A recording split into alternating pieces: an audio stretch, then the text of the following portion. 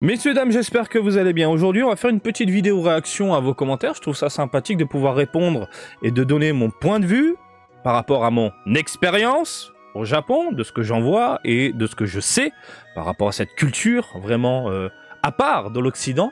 Et on va réagir, euh, je vais surtout réagir à vos différents commentaires en dessous de la vidéo concernant l'Ichiban Kuji qui fait grandement parler, du moins en Occident, parce que les Japonais, clairement, ils s'en battent les couilles et ils veulent juste dépenser leur thune pour acheter tout ce qui va sortir, euh, puisque nous, on aime bien euh, se lancer dans des débats. Alors aujourd'hui, je fais une vidéo débat. C'est sympa, non? Ça change un petit peu. Alors on va aller sur euh, l'espace commentaire et puis euh, je vais réagir tout simplement à tout ce que vous êtes en train de dire. Est-ce que je peux réduire un peu les commentaires, non? Voilà, on est bien, tout est cadré, vous pouvez lire en même temps que moi. On est posé, prenez un petit café, je pense que la vidéo va durer un petit moment, je vais m'attarder vraiment sur tous vos commentaires. Allez, on commence avec Golden Freezer 76 qui, euh, lui, a euh, partagé un avis très intéressant, je trouve. J'en ai débattu plus ou moins et rapidement avec lui dans les coms. Il me dit Bonjour Marty, pour moi tu fais erreur, je sais que tu vis au Japon depuis 13 ans et tu connais forcément la culture générale là-bas. Oui, totalement, je connais la mentalité, je sais comment il fonctionne, je sais comment m'adapter du coup aux coutumes, aux cultures et aux mentalités. Que ce soit dans la vie de tous les jours ou même professionnellement. Je tiens à le rappeler, pour ceux qui découvrent la vidéo, je suis au Japon depuis maintenant plus de 13 ans. Et euh, je suis dans le domaine vidéoludique, donc les jeux vidéo, machin, etc. Mais l'absence de Mister Popo est inexplicable. Bien sûr. Oui, je l'aurais bien vu en lot, euh, en loadé. Tout comme Kulilin, qu'on n'a pas eu dans l'Ichiban Kuji, celle-ci, regardez. Hop. Pas celle-ci, mais celle-là. Qui est euh, ayant pour thème, ayant pour thème les disciples de Kame Sennin. Donc là, on a Kame Sennin, on a Goku, on a Gyumao, on a Papy Gohan, et puis en lot, c'était quoi l'OD celui-là? L'OE Au lieu d'avoir Kulilin, on se tape quoi? Un masque de merde. Oui, c'est inexplicable, pourquoi il n'y a pas Krillin? C'est Bandai Ils nous cassent les couilles à chaque fois, toujours à nous prendre à contre-pied, hop, on te met autre chose à la place d'une figurine que tu attends. Pourquoi tu nous as pas fait Krillin? Ça rend dingue, voilà. Oui, c'est inexplicable, je suis d'accord. Même Mister Popo, j'aurais bien voulu le voir en loadé. Oui, au lieu de la cloche. La cloche, je trouve ça sympa, je la veux. Je la veux Bien sûr que je la veux. Je veux, euh, la cloche, tout comme Mister Popo. Tout comme Daimao sur son siège. Bien sûr, je veux tout. Mais bon, c'est Bandai qui a pensé comment, du coup, vendre une Ichiban Kuji. Je sais pas pourquoi ils ont fait ça, mais bon, c'est on a l'habitude avec eux. La preuve, je viens de vous la montrer. À chaque fois, ils nous font le coup. Il y a un thème, ils changent quelque chose. Et d'anciennes Ichiban Kuji ayant pour thème un thème précis, pareil, dans les archives, on se retrouvait avec du Vegeta, du Gogeta Blue. Ça fout là Pas chercher. Donc c'est un personnage central de la tour, c'est lui qui forme Goku, il ne faut pas l'oublier. Euh, son absence fait tâche. Comment expliquer son absence si ce n'est que cette fameuse cancel culture qui frappe un peu partout Non? Alors oui, je suis d'accord avec ses propos en disant que c'est un personnage important. C'est aussi une figurine que j'aimerais beaucoup avoir. Faut savoir qu'il y a des figurines de Mister Popo qui existent déjà, hein, bien sûr. Euh, mais euh, non, la cancel culture, ça n'a rien à voir. La preuve, encore une fois, ici, avec cette Ichiban Kuji, pourquoi il n'y a pas Krillin Alors cancel culture des cheveux s'en est? Force à vous, les frérots. Hein, voilà, dans ce cas-là. Non, c'est parce que Bandai fonctionne comme ça. Fonctionne comme ça. Ça, c'est un exemple que je vous montre parmi tant d'autres. Mais voilà, c'est... Cancel culture, force à vous, les, les chauves s'en est. On vous cancel dans une figurine. Bah, désolé, hein. si on le prend comme ça, non, non, non, rien à voir. Bandai n'a pas fait Mister Popo pour s'éviter des problèmes avec des associations ou autres. Donc, euh, pour faire simple, ils ne l'ont pas fait pour être tranquille, c'est mon avis, et franchement dommage parce que le Piccolo vieux assis sur son siège existe déjà depuis un moment. Alors, pour reprendre un peu tout ça, les associations, tout ce qui est Japon, machin, etc., on s'en bat un peu les couilles. Mister Popo au Japon est de couleur noire. Il a jamais cassé les couilles. On n'a jamais cassé les couilles ici concernant les couleurs de peau dans les mangas. Jamais. Et je tiens à le rappeler, en France aussi, il est noir. Qu'aux États-Unis où ils sont euh, on sait pas faire la différence entre fiction et réalité. Ils l'ont changé en bleu, si je dis pas de bêtises. Je crois qu'ils ont viré ses lèvres aussi. Euh... Putain, merde, qui va s'identifier à un personnage avec des pouvoirs magiques? Bah oui, il a des pouvoirs magiques.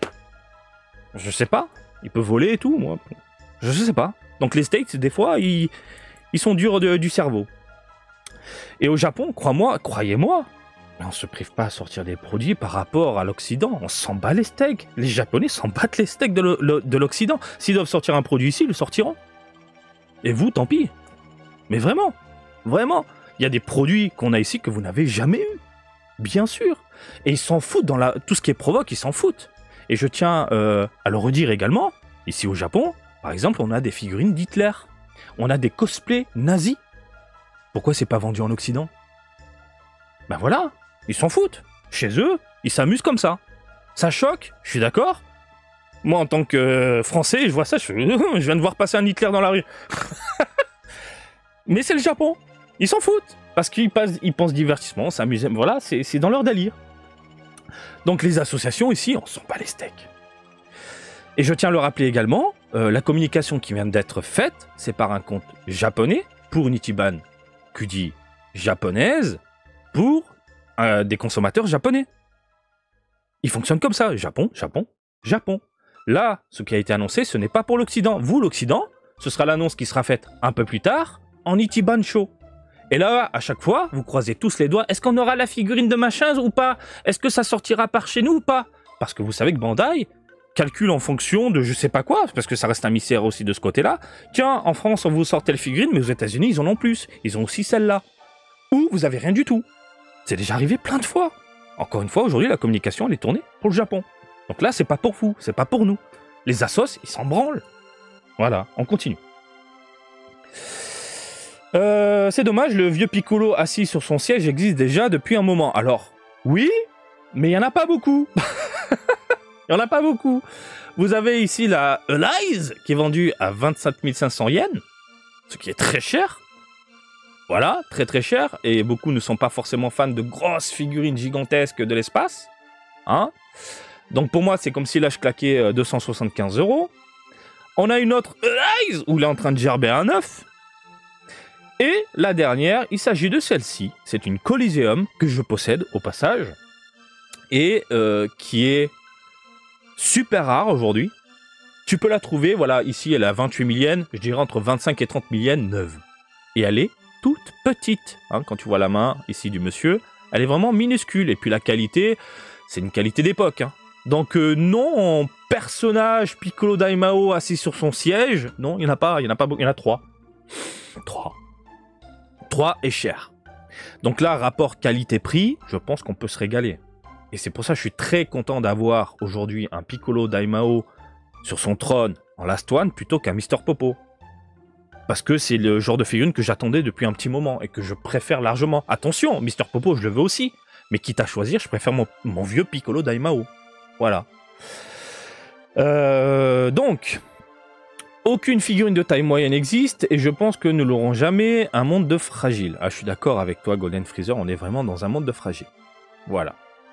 Donc je lui avais répondu, tu dois reconnaître que le marché USA est gros et que c'est surtout chez eux que Popo pose problème. Il avait même censuré en le repeignant en bleuâtre dans les premiers cailles, chose similaire avec les schtroumpfs noirs transformés en violet chez les ricains, bien sûr. Bien sûr. Mais ça c'est leur problème c'est leur problème.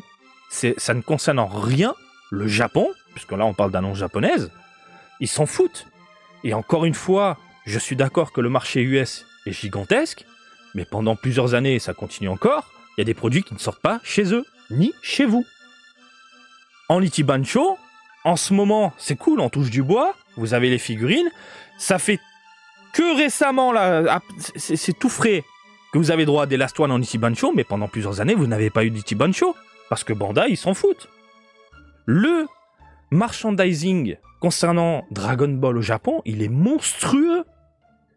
Alors aujourd'hui, je ne sais plus, mais pendant plusieurs années, ils ont dépassé Gundam.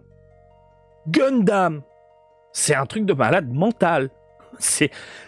Merde. Aujourd'hui, je sais plus. Peut-être c'est toujours le cas, mais il y a un truc aussi qu'il faut se dire, c'est que actuellement, là, en ce moment, Dragon Ball n'est plus d'actualité. Ce que j'entends n'est plus d'actualité. Il n'y a plus d'animé à la télé. Il n'y a rien qui te pousse aller consommer du Dragon Ball. Et pourtant, Bandai continue de sortir des cartes, faire des mises à jour de Heroes, et de proposer des Ichiban Kuji, et de sortir des figurines dans les Game Center.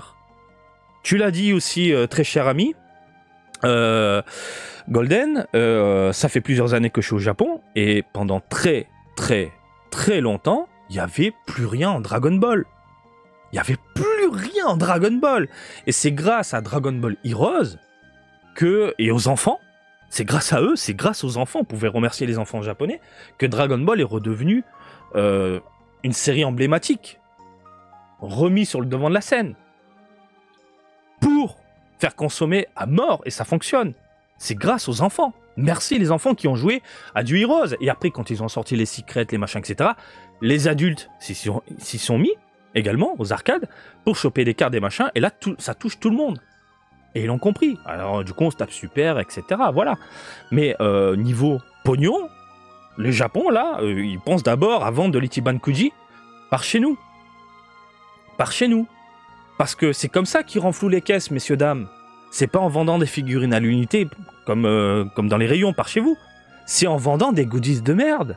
C'est comme ça qu'ils arrivent à se faire un maximum de pognon. Parce que quand tu vas faire une Ichiban tu croises les doigts pour choper de la figurine, tu croises pas les doigts pour choper une serviette de merde ou un verre en gobelet en plastique de merde. Un gobelet de merde. C'est pas ça, tu veux pas rentrer avec ça. C'est avec ça, avec des, des produits conçus, j'imagine, à 10 centimes pour le revendre au prix fort. C'est avec ça qu'ils se font du pognon. Et encore une fois, c'est pas avec une figurine vendue dans un rayon. On là, attention, on est dans le domaine de la figurine. Hein. On est dans le domaine de la figurine. Je sais que les ayants droit Dragon Ball, surtout du côté cinéma, ils veulent toucher le public américain. Et pourquoi ils font des événements aux États-Unis? Pour toucher encore plus le public américain. Ils veulent à fond, à fond, à fond, à fond marquer les esprits en dehors du Japon pour faire encore un maximum de pognon. Mais de base, là, actuellement, aujourd'hui, le pognon se fait facilement en vendant des goodies de merde, en vendant des tickets finalement. Pour au final essayer de croiser les doigts et choper une figurine voilà, 5 figurines sur 50 euh, lots de merde au total. Voilà, c'est comme ça qu'ils se font du pognon. C'est comme ça. C'est pas en vendant encore une fois à l'unité, et je tiens à le redire, par chez vous, il y a des figurines que vous n'avez pas. Récemment, ça va, vous avez un peu de tout.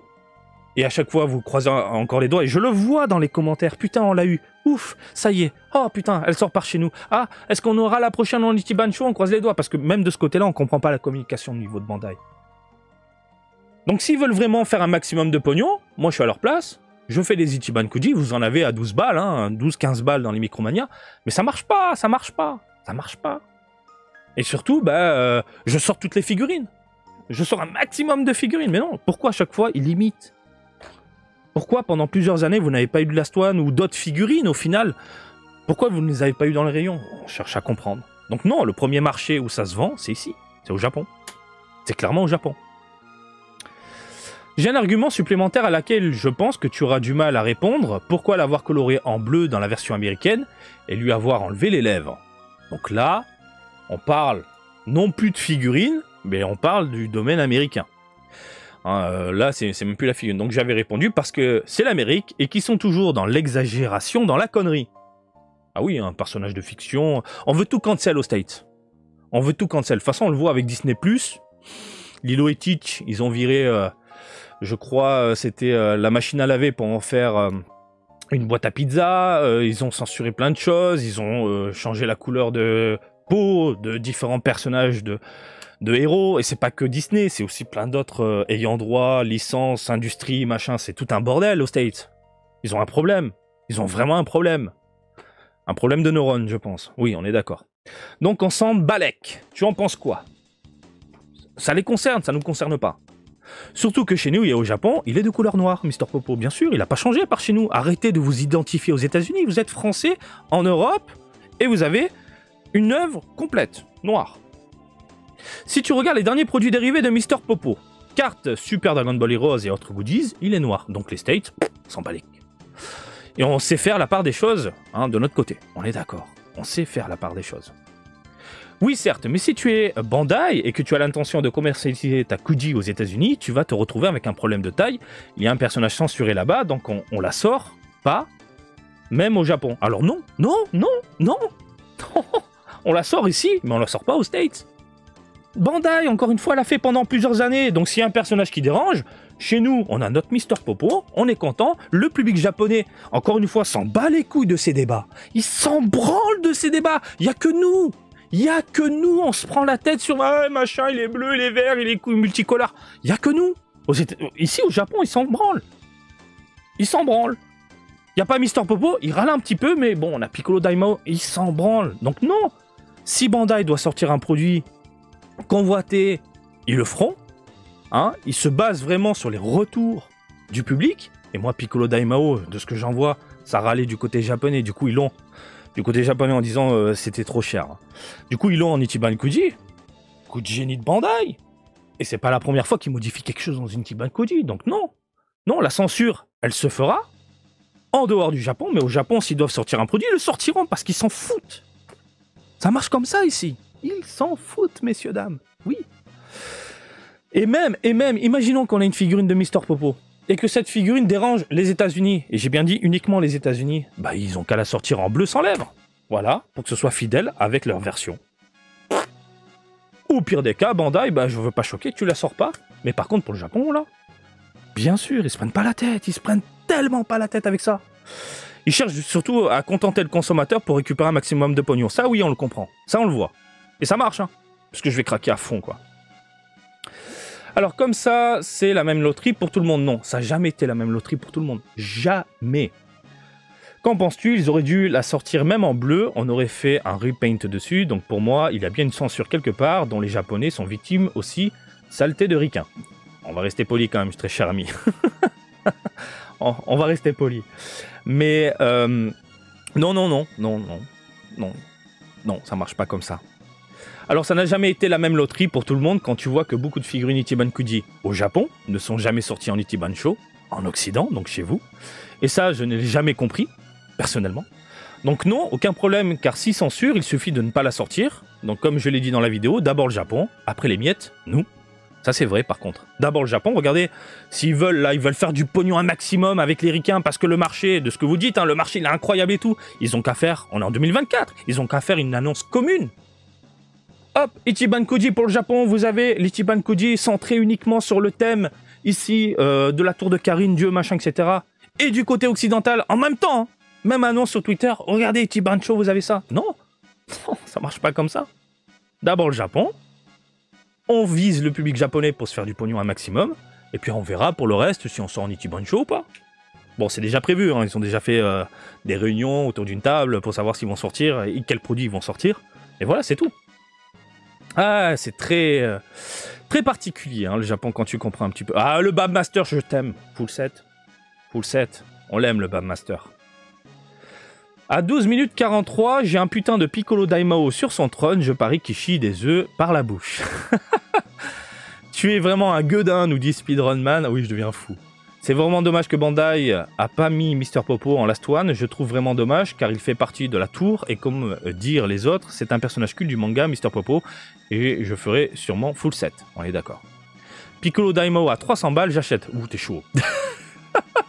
si, tu veux dès maintenant, t'as la Rise. Quoique, en import, ça doit coûter une blinde. Une blinde. J'achète, nous dit Andeloto. Euh, go faire un crédit, nous dit Geeko World. Geeko World, allez le suivre, il est incroyable. Il fait une actualité manga. Très très sympa. Invasion urbaine 13, du roulement, euh, pas du roulage, roulage de pelle aux figurines peut-être. Alors, EQ2. Euh, e voilà mon Marty, on est bien d'accord. Ça pour Popo, mais franchement, Osef. Daemao sur son trône, c'est 100 fois mieux que ce PNJ de Popo qu'on aura forcément un jour ou l'autre. C'est souvent mélangé dans les Ichiban Kuji. Merci Donc là, on a une personne qui suit un peu l'actualité des Ichiban Kuji et qui comprend du coup comment Bandai fonctionne, bien sûr. C'est toujours un bordel avec eux dans les Ichiban Kuji. Puis l'argument du Daimao, il y en a déjà plein. Vous avez vu les prix, au moins là, ce sera abordable et mieux sculpté, plus fidèle. Voilà Bien sûr Je suis d'accord avec toi. Voilà. Donc, euh, Mister Popo, euh, moi je le veux bien. Hein. Attention, je le veux bien en loader. Mais bon, voilà. Alors, Abaka a parlé de censure. Abaka? C'est quoi ça, Abaka? De cancel culture, moi je pense que c'est pas en last one qu'il fallait mettre Popo, mais en loadé. Totalement d'accord. Après, la raison seule Bandai la connaît, et je ne vais pas pronostiquer sur la raison personnellement. Je suis totalement. Il n'y a pas de cancel culture là. Rien à voir.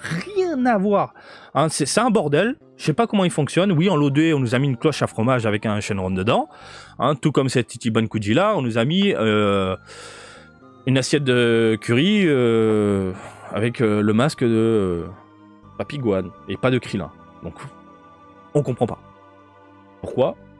Va chercher à comprendre.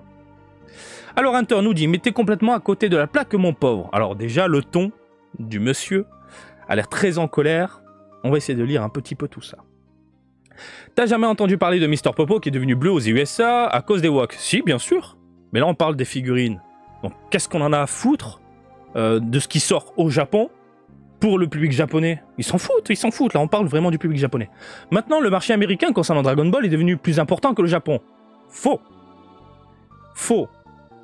Tu as Bandai qui essaye un maximum d'entrer dans les mœurs avec Dragon Ball en faisant des événements là-bas pour toucher un public beaucoup plus large. Et ils essayent maintenant depuis plusieurs années. Il y a eu la crise sanitaire. Il y a eu la crise sanitaire qui a fait que ça a stagné un petit moment. Mais je tiens à le rappeler, par exemple, Battle of Gods. C'est ça, Battle of Gods? Kamito Kami, le film là, qui est sorti. Quand c'est sorti, c'était un film destiné uniquement aux Japonais. Aujourd'hui, si vous le regardez avec vos yeux euh, d'occidentaux, de français, vous n'allez rien comprendre au film euh, au niveau des références. Parce que toutes les références dans le film sont faites en fonction du public japonais. Il y a des acteurs japonais, des têtes importantes. Euh, vous vous souvenez de cette scène? À un moment, il y a un zoom sur une flic. C'est qui, c'est quoi? Bah, si tu si tu vis pas au Japon, tu comprends pas que c'est une actrice, une personne connue, voilà, etc. Ensuite, il y a Fukatsu no F qui est sorti, donc la résurrection de Freezer, si je dis pas de bêtises, vous pouvez me reprendre, parce que j'ai les, titres en, japonais. Et là, euh, c'était sorti parce que à l'époque, il y avait eu un petit ras-le-bol en disant euh, on veut du fight, euh, Kami on n'a rien compris, c'était nul, machin, etc. Alors que, croyez-moi, au Japon, à la fin de la séance, j'en ai fait plusieurs, des séances, les Japonais pleuraient, pleuraient. Ils étaient touchés par ce film, c'était ouf. Fukatsu no F, c'était la bagarre, la bagarre, euh, et ça touchait un peu tout le monde. Et là, tu commençais à voir que la Toei voulait vraiment donner à manger aussi aux Occidentaux. Kamito Kami, pour moi, c'est un film purement japonais pour les Japonais. Battle of God. Et hop, euh, avec euh, Fukatsu F, on commence à toucher un certain public. On voit que la sauce prend. La sauce prend, et à partir de là, et surtout après avec le succès Dragon Ball Super, et vous l'avez vu, les batailles de Gillen, ça a été retranscrit, euh, retranscrit, oh putain, ça a été en live, excusez-moi, je crois que c'était au Mexique, dans les villes, Toei interdisait de diffuser le dernier combat, machin, etc. Tout le monde regardait, c'était la folie. Il y a eu une certaine folie autour de Super, qui fait que la sauce a bien, bien, bien prise du côté ricain. Et Dragon Ball Super Broly, pour moi, a été conçu principalement pour attirer les Américains. Mais vraiment, show à l'américaine, j'étais aux avant-premières. Show à l'américaine, au Japon, avec l'accent anglais, Rory, come on guy, machin, etc. Pendant le film, on a des répliques en anglais, en arrière-plan. On a euh, du battle, du machin. Et là, on a un film vraiment international. Pour moi, Broly, c'est un film international. Qui touche, du coup, absolument tout le monde. Et c'est à partir de là, pour moi, ça a été le grand déclencheur, où Bandai a compris qu'il fallait toucher un maximum de personnes. Et comment faire pour toucher un nouveau public? En organisant des événements là-bas. À quoi ça sert de faire des événements Dragon Ball au Japon avec un public qui connaît déjà Dragon Ball et qui consomme du Dragon Ball plus que Gundam? Mais il faut aller ailleurs. Ils ont compris. C'est comme ça qu'on fait du, du pognon. Voilà. Donc maintenant le marché américain concernant Dragon Ball est devenu plus important que le Japon. C'est toujours faux. Regarde avec les films et Daima, les annonces sont faites aux USA, bien sûr. Et heureusement, c'est comme ça qu'on touche un nouveau public. C'est comme ça, il faut, il faut toucher un nouveau public pour faire encore plus de pognon. Et là, je vous renvoie au début de cette vidéo où je parle un peu de merchandising, etc., euh, comment euh, faire du pognon. Popo a été cancel par peur de la réaction des consommateurs occidentaux, américains, principalement, parce que nous on s'en branle. Euh, BLM, je suis peut-être un boomer, ça veut dire quoi BLM De mes couilles Ça veut dire quoi? Et compagnie, c'est un fait on se retrouve avec une putain de cloche à fromage avec un dragon dedans à la place de Mister Popo. J'avoue que j'aurais préféré Mister Popo, mais je suis tout de même content d'avoir la figurine du dragon en mode euh, conception. Ça reste cool. Dans une Tiban Kuji qui porte le nom de l'épisode de la première apparition de ce personnage, c'est un fait. Ensuite, tu nous dis quoi, très cher ami Hunter? Et pourquoi tu crois c'est Piccolo Daimao qui a pris la place de Popo qui nous dit que Popo aurait été une Last One? Alors ça, ça veut dire que tu n'as pas suivi tout simplement l'actualité. Euh, donc tu prends euh, le train en cours de route, malheureusement, donc forcément, euh, voilà. Donc parce que dans l'Ichiban Kudi, on s'attendait tous à voir Mister Popo en lot normal en fait. Et en lot D, ils nous ont annoncé la cloche avec le dragon. Donc forcément, on voit le thème, on se dit tous, même moi, bon, ils vont foutre Mister Popo en Last. Et c'est pour ça qu'on parle de Last tout le monde parle de Last. Voilà. Donc euh, je pense qu'il aurait dû euh, être tout simplement le être à la place du Lodé. Bien sûr, il aurait dû être à la place du Lodé. Tout comme Krillin qui aurait dû être à la place hein, du lot je trouve. Voilà. Mais bon, bah, du coup on se retrouve avec des Ichiban Kuji non complètes, malheureusement. Pour moi, il aurait dû être dans le roster, c'est tout. Genre le présentateur d'un Budokai est vendeur Oui. Oui, mais euh, pas comme une Last One. Gumiao est vendeur oui, mais pas comme une Last One. Yadiloba est vendeur, comme une Lost One. C'est des conneries, si Popo n'est pas vendeur, ils auraient pu le mettre en duo avec Kami, comme Kalin avec Goku. Euh, là, on parle vraiment de Last One. On parle de Last One, messieurs, dames. La Last One, c'est le produit qui doit absolument t'attirer dans les boutiques participantes, les combinés, etc pour que tu dépenses un maximum d'argent dans des goodies de merde qui coûtent rien à produire pour Bandai, pour que tu chopes la figurine exclusive. Donc, vous connaissez maintenant l'univers des Ichiban. Soit on a une altérité des couleurs d'une figurine déjà disponible dans les lots. Hein, ils prennent le lot A et puis ils mettent du côté brillant euh, dans la Last One. Soit ils mettent un personnage convoité et apprécié. Une figurine que tout le monde veut et surtout en se basant sur les retours des consommateurs. Donc un Popo en Last One, non, ça n'attirera pas les gens. Par contre, un Piccolo Daimao sur son trône, quand tu vois les commentaires et que les gens ont réclamé du coup une figurine accessible en termes de prix, ben voilà, là ça fonctionne. Là ça donne envie de claquer un maximum de thunes et de tickets pour choper la Last One. Donc c'est pour ça qu'on parle de Last One, très cher ami. C'est parce que, oh non, un Popo, je suis d'accord avec toi, on aurait dû le mettre en lot D, classique. Et la Last One, non, non. Si tu mets une Last One, euh, une Last One, euh, et merde, présentateur, ça marche pas. Il faut quelque chose de différent. Et là, attends, c'était celle-ci? Non, pas celle-ci. Bah voilà, pour vous montrer un peu, regardez les Last One ici. Voilà, c'est le lobé avec le côté clinquant. Voilà, c'est ici. La Last One, c'est Goku en train de se gratter les cheveux d'une page mythique de Dragon Ball. Et celle-là, en ce moment, elle cartonne. Cette figurine cartonne. Tout le monde la veut. C'est un truc de dingue. Et les prix sont, euh, sont élevés, mais ça va. Regarde la future Last One, un Goku avec les ailes, avec le petit caillou, mais ça, ça signe. Imagine dans, dans cette Ichiban Kuji là, on met Mister Popo. Bah la Last One, tout le monde s'en branle de la Last One de Mister Popo. Par contre, Goku avec les ailes, putain, on l'a pas cette figurine. Ils a pas une showcase de merde, qui était vraiment très moche, je trouve. Hein. C'est mon point de vue, c'est pour ça que je l'avais pas acheté. Là, ça y est, ils me l'ont sorti. Et ça, c'est un truc que je réclamais depuis un moment. Pareil de ce côté-là. C'est la seconde forme. Last One. C'est pas en lot classique. Donc si tu veux la Last One, dépense un maximum de pognon. Voilà, dépense dans les tickets. Chope toutes ces merdes-là. Il ah, n'y a pas les goodies de merde, bon, les mugs, les machins, etc. Pour avoir la figurine que tu convoites. Un Mister Popo, ça passe pas. Et encore une fois, je suis d'accord avec toi, ils auraient dû le mettre en loadé. Bien sûr. Ça, c'est vrai. Mais bon, on comprend pas la logique de Bandai. On n'a pas eu notre Ichiban Kuji complète de ce côté-là. Moi, je veux toujours mon Krillin. Mon Krillin jeune comme ça, comme Goku. On l'a pas. Bah écoute, on fait avec, c'est comme ça. Après, attention, hein. possible, et ça on l'a déjà vu avec d'autres Ichiban Kuji, possible que Bandai nous sorte du coup Mister Popo dans une autre Ichiban Kuji. Je tiens à le rappeler, on est en 2024, c'est l'année Dragon Ball Daima. Et vous l'avez vu également, au travers de mes vidéos aussi, ils mettent l'accent sur Dragon Ball, années 80, parce qu'ils veulent déjà hein, lobotomiser le cerveau des consommateurs en disant regarde, il y, a du petit Goku partout.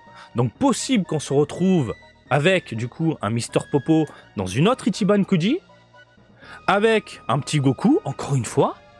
Et franchement, s'ils nous le sortent, ben, je reviendrai dessus en vous disant bah écoutez, voilà, parce qu'on s'en fout, le Japon s'en fout, les assos, les machins, les, les cancels, on s'en branle. Pour moi, ça, la, la cancel culture et euh, ce qui se passe actuellement autour de ce qui arrive euh, par rapport à ça, les wok et compagnie, c'est un problème nord-américain. C'est un problème en Occident. Ici, on se prend pas la tête. Hein. Personnage de fiction qui fait de la magie de couleur euh, noire, bah écoute, ok, on sortira peut-être plus tard en figurine. En attendant, il a des goodies, il a des cartes, il a du Heroes, il a des stickers. Il y a encore des stickers là qui sortent de Mister Popo. Pourquoi vous les avez pas euh, en Occident? On sait pas. Hein? On s'en fout. Mais ils, sortent au Japon. Bon, bah voilà. Je, comprends ta colère. Hein. Attention, très cher ami, ne t'emballe pas. le mon pauvre, ça me fait un petit peu mal au cœur. mais je t'aime bien quand même. Parce que t'as de bons arguments, bien sûr. T'as de bons arguments, mais après, quand tu comprends comment fonctionne le Japon, leur mentalité, et surtout au niveau des ventes et des entreprises, bah. Non, non. Invasion, t'es toujours là, mon pote? Il est chaud, lui. Ce serait tellement mieux si Bandai sortait ses figurines en série et non en. Ouais, mais là, ils font, ils font plus de pognon, mon ami. Encore une fois, je reviens dessus, un goodies de merde, une serviette, ça coûte rien à produire. Un gobelet en plastique, ça coûte rien, par contre tu le vends au prix fort. Ça permettrait aux gens de les acheter quand ils veulent et peuvent. Mais ça c'est bien parce que c'est de votre côté. C'est de votre côté. Ça vous les avez en Itiban Show. Et même vous avez des overseas. Et voilà, regarde, l'oversea, je peux... C'est l'exemple parfait. Les figurines oversea, pour ceux qui ne connaissent pas euh, cette gamme-là, ce sont des figurines qui existent au Japon, mais qui sont modifiés au niveau des couleurs, et vous les avez ensuite par chez vous. Alors vous avez des merveilles. Bah, ils peuvent faire pareil avec Mister Popo. Ils sortent un Mister Popo noir ici, modifier la couleur, version Oversea. Oversea, ça veut tout dire, c'est dans le nom. Oversea. En dehors de nous, bisous, en dehors de, du sea, de la mer, de, l'océan. En dehors de tout, ben hop, on te fout le Mister Popo bleu. Donc ça n'a rien à voir avec la cancel culture. S'ils veulent, ils le font. Il n'y a pas de souci. Et au pire des cas, comme je l'ai dit, ils suppriment la figurine.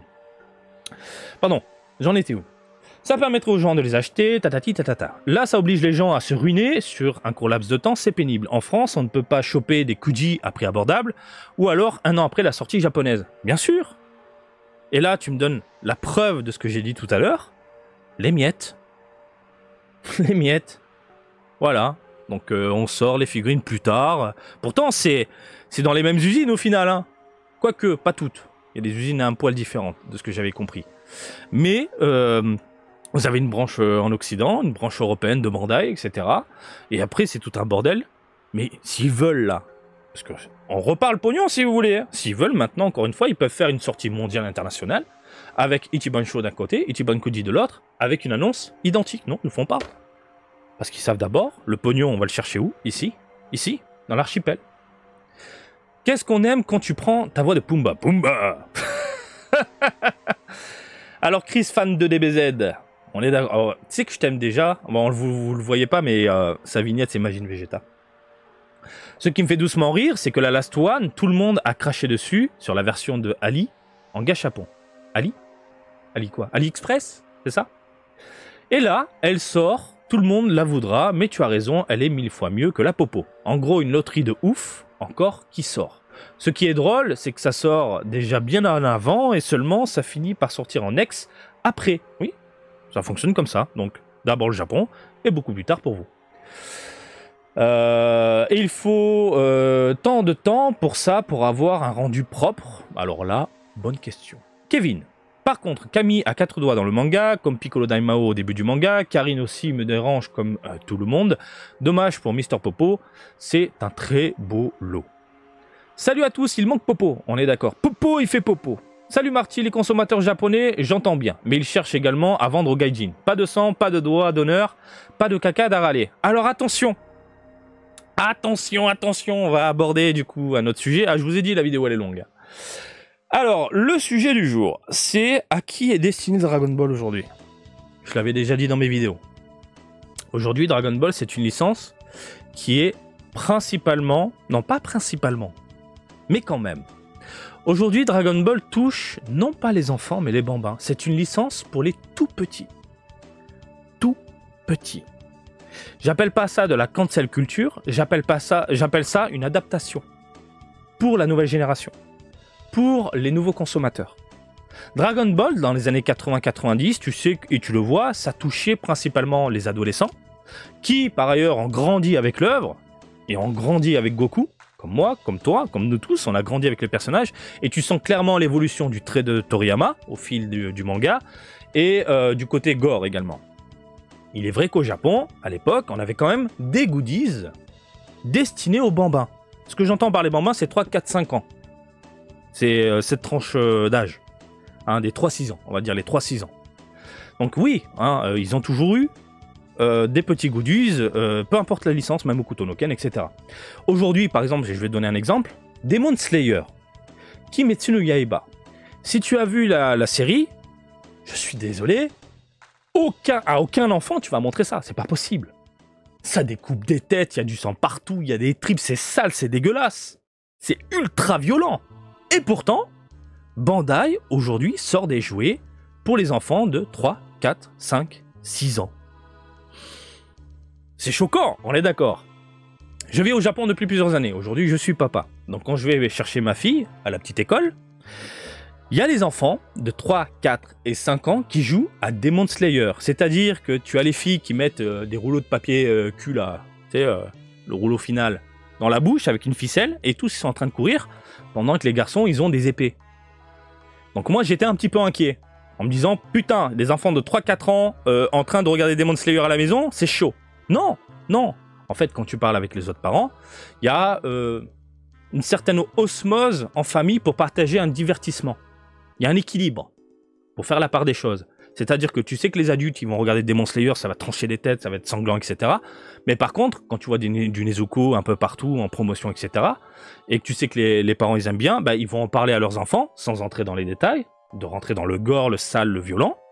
Mais ils vont partager un moment en disant, bah, regarde Nezuko, elle est mignonne, elle porte un kimono rose, elle a un truc dans la bouche. J'ai posé la question aux gamines. J'ai posé, vous savez pourquoi Nezuko a un truc dans la bouche? Non, elles savent pas, heureusement. Parce qu'en fait, c'est devenu un démon, euh, voilà, son frère il tranche des têtes. Euh. il veut buter euh, le King, voilà, il veut buter Michael Jackson, voilà, c'est... Ça, tu peux pas le dire aux gamins. Bah, à l'époque, Dragon Ball, c'était plus ou moins la même chose dans les années 80-90. Donc, c'était un manga orienté principalement pour les adolescents et les adultes. Et il y avait quand même des produits dérivés pour les bambins. Aujourd'hui, aujourd'hui, Dragon Ball vise aussi ces bambins-là. Et pour s'adapter à ces enfants-là et pour éviter de choquer du coup euh, les parents, aujourd'hui, on enlève le sang, on vire les fucks. Et euh, le caca d'Aralé, c'est pour dire aux enfants de 3-4 ans, bah, quand tu vas dehors, si tu vois un caca, ne le fais pas. Bon, coup de bol au Japon, il n'y a pas de la merde par terre mais c'est pour donner l'exemple, malheureusement. C'est tout, c'est adapté aujourd'hui aux enfants. Et quand je vous dis les enfants de 3-4 ans connaissent Dragon Ball et jouent aussi à Dragon Ball, je le vois dans les salles d'arcade dédiées aux enfants, vous le voyez dans mes petits reportages, ils jouent à Dragon Ball Heroes. Je le vois aussi à l'école, petites écoles, des gamins qui font des caméas, c'est des gamins de 3-4 ans. Et des produits, aujourd'hui, Dragon Ball sont beaucoup plus destinés à ces enfants-là. Quand tu vas au rayon bonbons, t'as plein de petits bonbons pour les gamins. Voilà, tout le mignon, le côté coloré, le côté bleuté, le côté rosé, le côté... Voilà, le côté super. Et ça fonctionne. Donc aujourd'hui, ils ont adapté l'œuvre d'Akira Toriyama en virant ce qui pouvait choquer dans cette génération pour atteindre les enfants. Et encore une fois, tout ça, ils en en profitent. Hein. Tout ça à la base, tout ça à la base, c'est pour toucher le public japonais. Mais il faut une pierre de coups du côté des ayants droit que ce soit du côté de Bandai, etc. Parce que s'ils sortent un jour les produits ailleurs, vu qu'on est parti dans un monde psychotique, euh, les wok, le machin, euh, tout est bien, tout est mal, euh, faut qu'on en débatte et c'est un bordel. Bah regardez, nous on est bien. Voilà, prenez vos produits, mais à la base, à la base, c'est une adaptation pour les bambins. Aujourd'hui, pour moi, Dragon Ball, et je le vois hein, dans la consommation et comment c'est présenté, c'est pour les enfants. C'est vraiment pour les enfants. Voilà. C'est comme ça. Donc, euh, comment expliques-tu ça? Bah ça y est, je viens de donner l'explication. Alors qu'il y a du sang, des boobs et pire, ne serait-ce que les shonen. On est d'accord et je viens de donner euh, l'exemple avec Kimetsu no Yaiba, etc. Et euh, concernant Dragon Ball, j'ai déjà parlé avec des parents, hein, des parents japonais, etc. ils, ils, sont pas d'accord de leur faire lire Dragon Ball pour le moment. Bien sûr, c'est normal. Parce que tu sais qu'au bout d'un moment, voilà, voilà, c'est chaud bah, Freezer qui se fait découper en deux, il y a des tripes, des machins, etc. C'est ça, là. C'est ça le Dragon Ball aussi. Bon, après, les gamins de 4-5 ans, euh, ils ont un peu de mal à lire pour le moment. Mais voilà. Donc aujourd'hui, on est sur une œuvre adaptée, malheureusement, à un public qui touche tout le monde. On est sur du Peggy 3. Pour moi, c'est Peggy 3. On est sur du Peggy 3. Voilà. Et on le voit aussi, on le voit aussi. Regardez Heroes, prenez Heroes. Euh, j'ai rigolé avec la nouvelle introduction de la nouvelle série Mission machin bidule chouette mes couilles, où on voit que les animations sont dégueulasses et très simplistes. Mais ces animations-là, un enfant devant la borne, ils s'en foutent. Ils s'en foutent, les gamins, ils sont contents. Ils voient un Vegeta là qui, qui met des coups de poing à Janemba, qui essaie d'esquiver. c'est tout. C'est tout. C'est tout simpliste, tout pourri, tout, tout adapté à eux. Et ça fonctionne. Ça fonctionne. Voilà. Aujourd'hui, Dragon Ball n'est plus Dragon Ball, mais c'est grâce à cette nouvelle génération qu'on a aussi des produits comme ça. C'est du Peggy 3. Ça touche tout le monde. Les vieux, les vieux de la vieille, la nouvelle génération, et euh, du coup, les ados, etc. Ça touche tout le monde. C'est devenu, pour moi, Dragon Ball, c'est Disney. C'est Disney, voire Pokémon. Mais vraiment. Vraiment. Et je le vois tous les jours. Et ça me dérange pas. Je, je, préfère voir ça, aujourd'hui, du Pokémon Dragon Ball, plutôt que la mort, le néant. Et je l'ai vécu en tant que fan de Dragon Ball. Je l'ai vécu. Mon appart, il n'y avait pas tout ça à l'époque. Hein. J'étais au Japon, il n'y avait pas de Dragon 3-4 figurines. Et le peu qui sortait, oui, sans plus. Et les Ichiban Goody, c'était de la merde à l'époque. C'était de la merde. Donc voilà. Tout est adapté. Et il faut une pierre de coups si un jour ça sort euh, en dehors de l'Occident. Voilà. Par exemple les fuck, voilà, par exemple le fuck. Euh, je vais vous montrer ça. C'est celui-là, je sais même plus c'est lequel. Non, c'est pas celui-là. C'est celui-là. Voilà. Regardez-moi ça. Ça, c'est une illustration ultra populaire. Ultra populaire. Vous vous en souvenez? Toute la partie, la Z-Team, Tenshinhan, Trunks, Yamcha et Krillin, ils font pas le point comme ça. Et surtout, le point vers l'adversaire, bon, là, euh, du côté japonais, ça voudrait dire, allez, vas-y, on va se battre. Mais à la base, ils font un fuck. Ils font un fuck. Pourquoi ils ont adapté ça?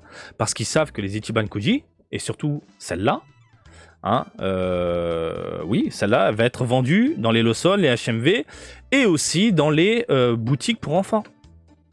C'est comme ça. C'est comme ça, tout est adapté en fonction du public. Les enfants qui aiment Dragon Ball aujourd'hui ont ce genre d'illustration sans fuck, sans sang, sans rien, sans boum, sans molle, sans rien. Tout est adapté. Alors nous, ça nous fait mal en tant que vieux de la vieille, en tant que consommateur. Années 90, ça nous fait mal de voir ce genre de merde. Mais le problème, c'est qu'en Occident, on pense avec notre mentalité occidentale et on ne cherche pas à comprendre comment fonctionnent du coup euh, les entreprises au Japon. Pour moi, tout ça est adapté aux enfants. Point. Parce qu'un enfant de 3-4 ans, il fait des Ichiban Kuji avec papa et maman. Ça, je l'ai vu partout. Tu vas dans les euh, coins pour les enfants, j'ai vu tout le temps des familles faire des Ichiban Kuji Dragon Ball. Tout le temps. Et c'est pour ça que certains endroits où ils vendent ça dans les euh, rayons enfants ou les boutiques pour les enfants, ils sont limités en termes de tickets parce qu'ils savent qu'il y a des scalpers qui vont débarquer. Je prends toute la boîte. Non, t'en prends que 5.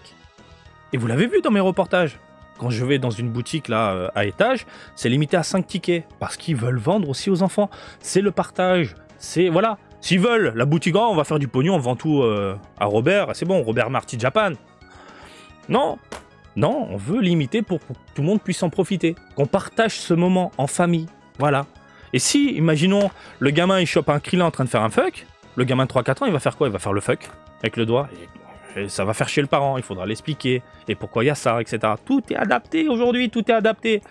Alors ce genre de produit, je pense pas que ça va arriver par chez vous, mais si ça arrive par chez vous, ben au moins Bandai, au moins ils sont tranquilles en disant oh, c'est bon, pour les wok, les machins, regardez, tout est adapté, cancel culture si vous voulez. Non, mais à la base, c'est pas ça, c'est pas ça qu'ils pensent. Ils pensent surtout aux enfants, voilà. Euh, voilà, concernant ce point-là, hein, sur les enfants, euh, la mentalité, l'adaptation et non pas la cancel culture, voilà. Alors perso, ça fait longtemps que je n'ai pas acheté de Kuji Dragon Ball, mais là je dis oui direct, ce Goku est tout magnifique, on s'en tape le cul par terre. Et ce petit Shenron cloche, je le trouve oufissime, par contre obligé, petit custom pour lui rajouter des boules de cristal en version pierre, et là ce sera parfait. Oui, oui, bonne idée, oui. T'en penses quoi, Marty? Bah Oui, je viens de dire bonne idée. Très cher Will, euh, si tu es sur Twitter et que tu fais un custom, je t'en prie, partage-nous tes photos, hein, que je retweeterai avec plaisir. Un petit truc à part, j'ai découvert tes vidéos il y a quelques semaines seulement, mais franchement tu me régales, un truc de fou, entre tes vlogs pour aller euh, chercher des tickets Kuji et la découverte des bons endroits et les vides greniers, mais ce n'est que du bonheur. Encore merci, bah, je t'en prie. Hein. Moi c'est un plaisir de vous partager mon univers, ma passion, et puis là aujourd'hui mon euh, point de vue par rapport euh, bah, en tant que résident au Japon tout simplement depuis plusieurs années. Mais ce n'est que du bonheur, encore merci pour tout ce que tu nous fais découvrir et surtout euh, avec tout, vous êtes chaud, je suis chaud et on y va. avec ton, avec ton, vous êtes chaud, je suis chaud et on y va. Alors tous dans le même bain, elles sortent trop vite d'affilée les Kuji. Marty, c'est marrant pour toi le bonus c'est Karine, alors que pour moi le bonus c'est le coucou Balek. Mais c'est ça qui est bien du coup. C'est ça qui est bien. On, a notre équilibre et euh, on craque pour les produits qui nous plaisent. Par exemple, euh, très cher Venom, moi, le, le Kaline, je m'en bats les couilles et je vais te dire pourquoi. Parce que j'ai ça. Regarde, j'ai ça. Alors certes, elle est très très grosse. Hop. Mais elle est plutôt cool. Alors, elle n'a pas de moustache. C'est une figurine qui, euh, normalement, doit être mise devant la porte, hein, les fameux chats Neko là, que tu mets avec la main levée pour l'argent, la santé, le bonheur, etc. Pour apporter le bonheur à la maison. C'est pour ça qu'on dirige la main, je vous donne. Petit point culture, les chats avec la main comme ça que vous achetez au Japon. Vous le mettez devant votre porte, orienté vers la porte pour attirer le bonheur, attirer l'argent, attirer la santé. Bon, ça dépend, je sais plus si c'est le bonheur, l'argent et les deux. Donc ça dépend le personnage. Mais ils avaient sorti à l'époque justement ce délire-là avec Kaline. Donc elle me suffit amplement. Après, bon, hein, avoir une deuxième Kaline euh, adaptée à la taille de Goku, je trouve ça cool. Et puis moi, petit Goku, tu le sais, très cher Venom, je suis amoureux. Je suis amoureux de... c'est, voilà, tu, as le poster derrière moi. un petit Goku, tiré l'illustration de Toriyama comme ça, avec le, petit regard de côté, les vêtements déchirés, c'est trop bien, c'est trop bien. Donc c'est cool, c'est cool au final. On a tous... Euh, euh, j'allais dire notre équilibre. Oui, notre équilibre, on a, euh, on se penche par rapport à nos envies et à ce qu'on aime. Et on a le choix. Voilà. On a les deux de toute façon, on s'en balèque. On a les deux dans la même boîte. Donc ça, c'est plutôt cool. Voilà les amis, c'était pour vous donner mon point de vue, réagir à vos commentaires, lancer un débat également sur le sujet, euh, vous expliquer comment je vois les choses par rapport à la culture japonaise, la cancel culture, les associations, les machins. Balek, Balek ici, c'est un truc de fou. Et a un Mister Popo qui déboule dans une autre Ichiban Kujim, on en reparlera dans une vidéo, tout simplement. Hein, voilà. Je vous laisse tranquille, je vous fais des bisous, je vous laisse vous exprimer tranquillement dans les commentaires. Hein. Pas de, pas de gros mots, pas d'insultes, pas de, voilà. Hein. Bisous. Et puis, euh, comme d'habitude, je vous invite à me suivre sur Twitter, Facebook, Twitch et TikTok. Marty Japan. Et je vous dis à très bientôt. Allez, salut, bisous, ciao, ciao